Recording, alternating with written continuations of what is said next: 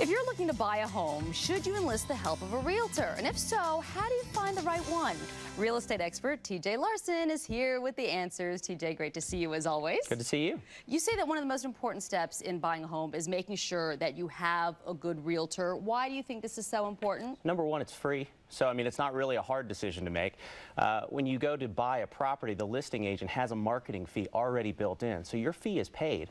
So all the buyer needs to do is find the right realtor. They're going to know the market. They're going to know properties that that buyer may not be able to find on their own. And they've got access to every property that's absolutely out there. They're also going to know the process. They're going to know how to take you through all the contract documents. I think it's so important. When we bought our house two and a half years ago, I could not have done that on my own. I mean, yeah. I needed a real estate agent, but how do you go about picking the right one? I literally just asked a friend of mine. Mm -hmm. It was Bobby Sisk, actually, who recommended a realtor, and that's that's how I found one. Well, what I hope that Bobby will recommend me from now on. So. this was a long time ago. I understand. um, friends are the best way, in my opinion. Uh, they're going to tell you who they trust, who they like. Better yet, they might tell you who they don't trust and who they don't like. So they might get you to stay away from one that might not be the best for you. Um, online, there's so much online right now. You can look up these realtors online. You can find out everything about them. You can read their bios. Make sure that they know the area. It's not only about knowing the process, but it's knowing about the areas that you're particularly interested in. Well, talk more about that. You think it's very important to find somebody. If you know you want to live in Myers Park, or yep. you want to live in Ballantyne, or you want to live in Cotswold, you need to find somebody who's familiar with those areas? Absolutely. I mean, if you go to, if you're looking in Myers Park and you find a Lake Norman realtor to represent you there, you may trust them. They may definitely be looking out for your best interest, but they may not know all of the deals. They may not know, know, what's going on in that particular neighborhood. So find somebody that can actually prove to you that they have listings and they have sales in that particular neighborhood and they are very aware of the market and the market conditions. And you think, too, that you should have some chemistry with your realtor. I mean, I think it helps if you just kind of like the person. Yeah, you know, number one, you want to find out, uh, can they look out for my best interest? But if you've got that chemistry, maybe you can determine, will they look out for for my best interest.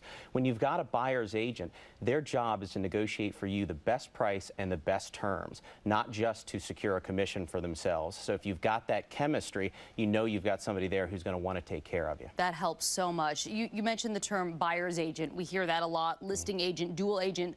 What does all this mean? Well, a buyer's agent is someone that you secure to have a fiduciary responsibility to represent you as the buyer. Fiduciary, Again, big word, TJ. And I, I nailed it. Strategery, yes, I think, is the one that I messed up last time. So, but fiduciary It was statistics, actually. actually. Not that I'm keeping score or anything like that. Of course. But, yeah. uh, but let me see if I can get back on track here. Sorry, buyer's I asked you, agent, what do these terms mean? Yeah. Buyer's agent uh, is someone who has a fiduciary responsibility to the buyer to get them the best possible price and the best possible terms. There's a listing agent. That's the person with the sign in the front yard. Again, fiduciary responsibility to get the best price and the terms for the seller. Here's an interesting one, a dual agent. You call the number off of the sign. They represent the seller and they represent the buyer. How do they do that? They want to get the best price for the buyer and the best price for the, for the seller. That's sort of hard to do. So what they give you is non-privileged information, everything that you should know as a buyer about that house, everything that the seller should know about the buyer in terms of financing and those things. And then when it comes to negotiating price, they need to give everybody the pertinent facts about what things are worth and then sort of back out of that part of the transaction. Okay. How does the realtor get paid? They get paid typically 3%.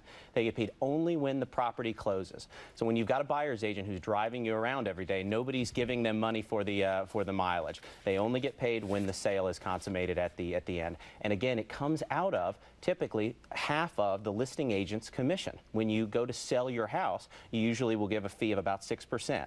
Three of that goes to the buyer's agent, three of it goes to the listing agent. That's why I always feel for real estate agents because you could drive somebody around for hours and hours and hours and never see a dime. So you've got to True. be really patient. For more information, you can go to TJ's website. It's mytownhome.com, mytownhome.com. And I know he's a good real estate agent. TJ, thank, thank you. you so much. We appreciate it. Well,